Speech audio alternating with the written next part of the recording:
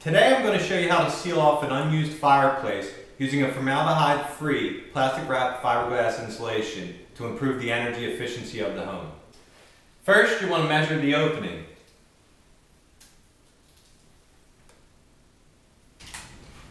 Then cut the size.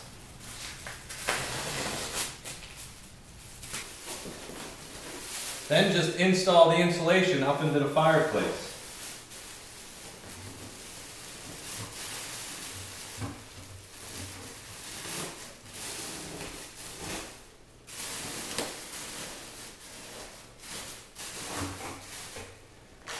Also have these insulation supports that you can add for added support.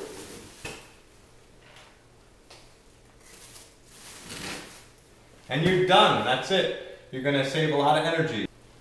Just be sure to remove the insulation if you'd like to have a fire.